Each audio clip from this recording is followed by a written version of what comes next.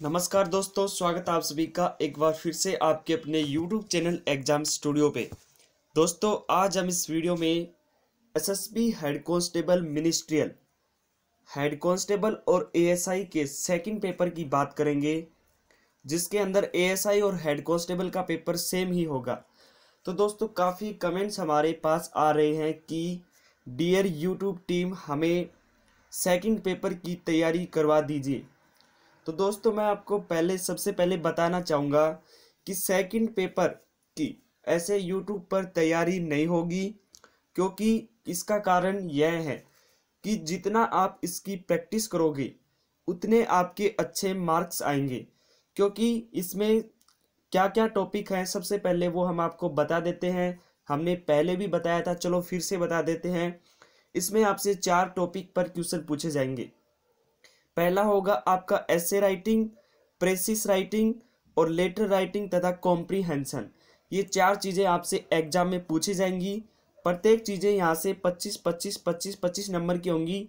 Total आपका paper जो second होगा, उसका 100 मार्क्स का पेपर होगा।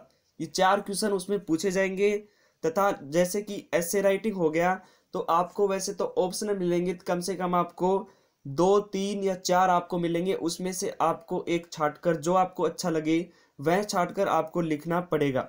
तो दोस्तों, हम इस वीडियो में आपको सिर्फ़ इतना इसका प्रारूप बता देते हैं कि किस प्रकार से आपको लिखना पड़ेगा। जितनी ज़्यादा आप प्रैक्टिस करोगे, उतने ज़्यादा आपके अच्छे मार्क्स आएँगे। और बता देते हैं कि आपको क्या क्या सावधानी रखनी पड़ेगी, आपको कहाँ से तैयारी करनी पड़ेगी किस चीज़ की तैयारी करनी पड़ेगी, कैसे आपको लिखना पड़ेगा, वो सारी चीज़ें हम आपको इस वीडियो में बता देंगे। तो दोस्तों, वीडियो को साथ अंत तक बने रहिए और अंत तक अच्छे से सुने, अच्छे से ध्यान लगाकर देखें। तो चलिए दोस्तों, सबसे पहले ऐसे राइटिंग की बात कर लेते हैं। पहले पर्सन की किस तरीके से आपसे एग्ज़ाम में पूछा जाएगा। तो यहाँ पर थोड़ा सा हमने एग्ज़ाम्पल उठाने की कोशिश की है, जैसे कि आपसे पूछा जाएगा कि निम्नलिखित विकल्प में से किसी एक पर निबंध लिखिए, कम से कम ढाई सौ शब्दों में। तो वहाँ पर जो भी आपसे पूछा जाए, उतने शब्दों में आपको लिखना पड़ेगा। तो जैसे कि आपसे, आपको ऑप्शन दे दिए जाएँगे कि प्रधानमंत्री उज्जवल योजना पर लिखिए मैक इन इन इंडिया पर ऐसे लिखिए, स्वच्छ भारत अभियान पर लिखिए डिजिटल इंडिया पर लिखिए। तो जो, दोस्तों, इस प्रकार से आपको ऑप्शन दिए जाएँगे। तो जो आपको अच्छा लगे, वो आप, जो आपको ऐसे जो आपको अच्छे से याद हो, वो आप अच्छे से लिख सकते हैं यहाँ पर। और इससे पहले दोस्तों मैं आपको एक चीज़ और बता देता हूँ। काफ़ी बच्चे कमेंट्स कर कर के पूछ रहे हैं कि कौन सी चीज़ हम हिंदी में लिख सकते हैं और कौन सी चीज़ हम इंग्लिश में लिख सकते हैं। तो डियर स्टूडेंट्स इसमें दो टॉपिक ऐसे हैं जिसका आंसर आपको सिर्फ़ ही इंग्लिश में देना पड़ेगा। एक तो प्रेसिस राइटिंग और एक कॉम्प्रीहेंशन यानी कि दो नंबर और चार नंबर पे जो चीज़ है, उनका आपको सिर्फ़ इंग्लिश में ही आंसर देना पड़ेगा। आप इनका आंसर हिंदी में नहीं दे सकते। और वैसे देखें तो ये टॉपिक बहुत ही सरल टॉपिक है। आप आराम से इनका आंसर दे सकोगे। इसका कारण भी हम इस वीडियो में आपको बताएँगे। और ऐसे राइटिंग और लेटर राइटिंग ये दो चीज़ें, दो, जो दो चीज़, दो टॉपिक हैं। इनका आप, आपको अच्छा लगे कि हम हिंदी में उत्तर दें तो आप हिंदी में देना। आपको इंग्लिश में अच्छा लगता है तो आप इंग्लिश में। ये ऑप्शनल है। जो लैंग्वेज आपको अच्छी लगे लिखने में जो आपको अच्छे से समझ में आए, उसमें आप लिख सकते हैं। तो दोस्तों, हम ऐसे का थोड़ा सा आपको प्रारूप दिखाते हैं कि किस प्रकार से आपको लिखना पड़ेगा। तो दोस्तों ऐसे लगभग थोड़ा सा करंट अफेयर्स मतलब जो करंट मुद्दे चल रहे होते हैं, उनमें से पूछा जाएगा। तो उन पर आप थोड़ा सा नज़र रखिए, पढ़ते रहिए, जो भी योजनाएँ वगैरह हैं, थोड़ा सा उनको अपनी नज़रों से निकालते रहिए तो आप अच्छे से इनको कर पाओगे। जैसे कि यहाँ पर प्रधानमंत्री वाला टॉपिक हमने उठाया है। तो आपको मतलब सारी चीज़ें इसमें डिटेल से लिखनी पड़ेगी कि क्या यह चीज़ है। जैसे कि पी एम यू वाई एक नई योजना है, जिसे नरेंद्र मोदी जी, भारत सरकार द्वारा शुरू किया जा रहा है। इस योजना के अंतर्गत भारत सरकार पाँच करोड़ बीपीएल तो दोस्तों, सभी चीज़ें हम पढ़ाएँ, इसमें बताएँगे तो आपको बहुत सारा समय लग जाएगा। तो आप यहाँ से पढ़ लेना कि किस प्रकार से आपको लिखना है सारी चीज़ें।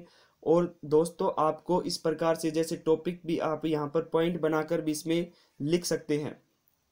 और थोड़ी सी और बेहतर बनाने के लिए थोड़ी सी जैसे कि यहाँ पर इसमें क्या बजट अनुदान थे, क्या वित्तीय थी, क्या सहायता थी, इस प्रकार से भी आप छोटे छोटे इसमें बिंदु बनाकर थोड़ा सा आप लिख सकते हैं तो ज़्यादा बेहतर दिखाई देगा। तो दोस्तों, आप जैसा कि यहाँ पर देख रहे हैं इस प्रकार से आपको ऐसे लिखना पड़ेगा। दोस्तों, अगले क्वेश्चन में चलने से पहले मैं आपको बता दूँ कि अगर आप एग्ज़ाम स्टूडियो पर पहली बार आए हैं तो नीचे एग्ज़ाम स्टूडियो के सामने रेड कलर में सब्सक्राइब का बटन लिखा हुआ है। इसको दबाकर आप चैनल को सब्सक्राइब कर लीजिए। इस पर क्लिक करने के बाद यह ब्लैक रंग का हो जाएगा और सामने बेल आइकन आ जाएगा। तो दोस्तों, यहाँ पर भी इसको क्लिक करने का फ़ायदा यह मिलेगा कि जब हम नेक्स्ट वीडियो एसएसबी के विषय में कोई भी डालेंगे तो आपके पास उसका नोटिफिकेशन आ जाएगा और सबसे पहले आप देख सकोगे। तो दोस्तों, वीडियो अच्छा लगे तो लाइक भी ज़रूर किया कीजिए। यहाँ से लाइक और डिसलाइक का ऑप्शन मिलता है। तो आपको अच्छा लगता है तो लाइक कीजिए अच्छा नहीं लगता तो आप डिसलाइक कीजिए। चलिए दोस्तों, बात करते हैं प्रेसिस राइटिंग की, कि किस प्रकार से आपको प्रेसिस राइटिंग लिखना है। तो दोस्तों, हमने पहले बताया था कि जो इंग्लिश वाला पोर्शन है वो बिल्कुल सरल है, इतनी ज़्यादा उसमें घबराने की नई बात है। तो प्रेसिस राइटिंग में सामान्यतः आपको करना क्या है कि आपको अच्छे से पूरा पैराग्राफ पढ़ना है। जैसे कि यहाँ पर लगभग बारह से तेरह लाइन में ये पैराग्राफ यहाँ पर दे रखा है। तो इसमें आपको पढ़ना है कि यह किस टॉपिक पे दे रखा है।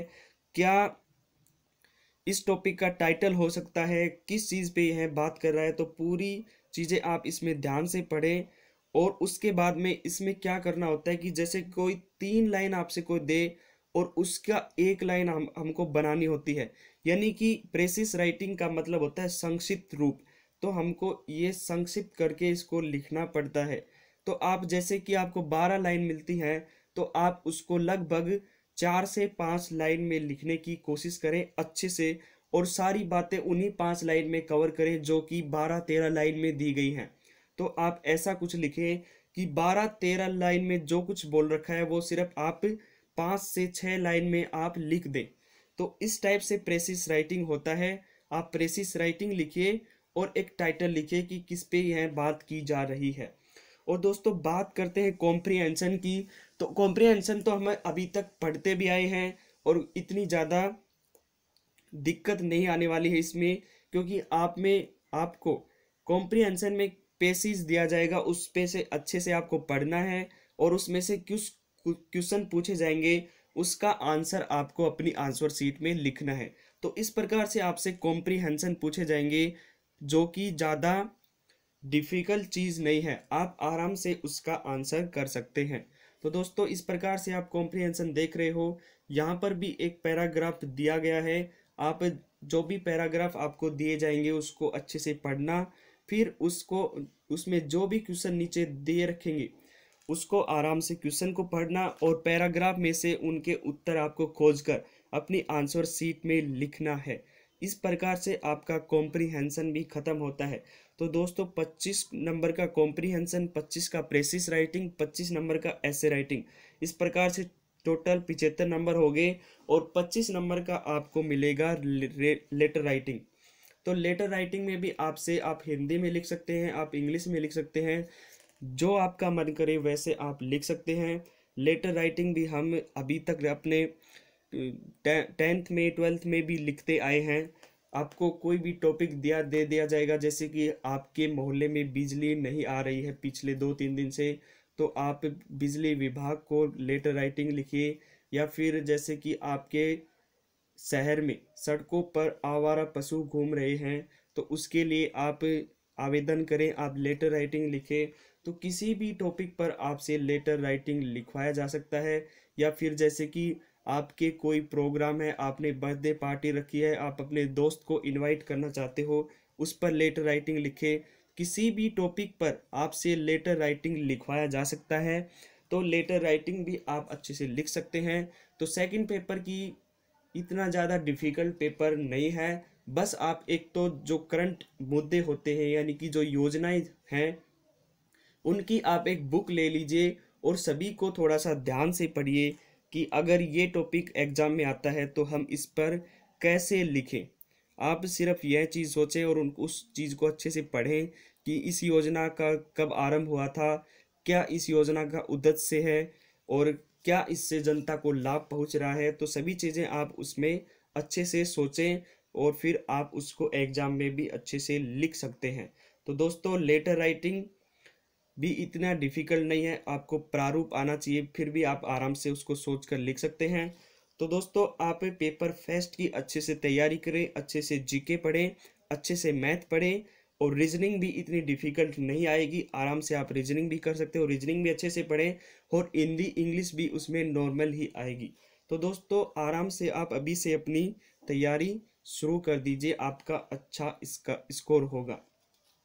तो दोस्तों, हमारी तरफ़ से आपको बेस्ट ऑफ़ लक अच्छे से पढ़िए और पेपर सेकंड के बारे में सिर्फ़ हम इतना ही कहना चाहेंगे कि आप इसकी यूट्यूब पर जैसे कि ऐसे राइटिंग हो गया तो जैसे कि जो योजना है, जैसे प्रधानमंत्री उज्ज्वला योजना क्या है तो आप इस प्रकार से यूट्यूब पर लिख कर सर्च कर सकते हैं। उसको भी आराम से अच्छे से वहाँ से भी ऐसे याद कर सकते हैं या फिर उसकी कोई बुक खरीद सकते हैं। प्रॉपर आपको यूट्यूब पर पेपर सेकंड की तैयारी कोई नहीं कराएगा। तैयारी सिर्फ़ आपको ही करनी है। हाँ पेपर फेस्ट के लिए आपको यूट्यूब पर वीडियोज़ काफ़ी मिल जाएँगे मैथ्स के भी मिल जाएँगे रीजनिंग के भी मिल जाएँगे जीके के मिल जाएँगे। लेकिन आप अपनी तैयारी को एक हिसाब से, एक वे में लेकर चलिए कि हमको इस समय में ये पढ़ना है, इस समय में ये पढ़ना है ताकि हमारा एग्ज़ाम तक पूरा सिलेबस कंप्लीट हो जाए। जिसकी भी आपको कमी महसूस होती हो, जो किसी भी टॉपिक की, उसको आप यूट्यूब पर भी सर्च कर सकते हैं और आप बुक भी खरीद सकते हैं और आपने कहीं से कोचिंग ली है तो आप वहाँ से भी अपना पढ़ सकते हैं। तो दोस्तों, मिलते हैं नेक्स्ट वीडियो में कुछ ज़रूरी इन्फॉर्मेशन के साथ। अगर आपका कोई डाउट है पेपर सेकंड के बारे में तो दोस्तों, आप कमेंट बॉक्स में कमेंट करके हमसे पूछ सकते हैं। हम उसका रिप्लाई आपका ज़रूर करेंगे। तो दोस्तों वीडियो देखने के लिए धन्यवाद। लाइक करना नहीं भूलें, तथा अपने दोस्तों से ज़रूर शेयर करें, ताकि उनको भी ज़रूरी इन्फॉर्मेशन मिल सके।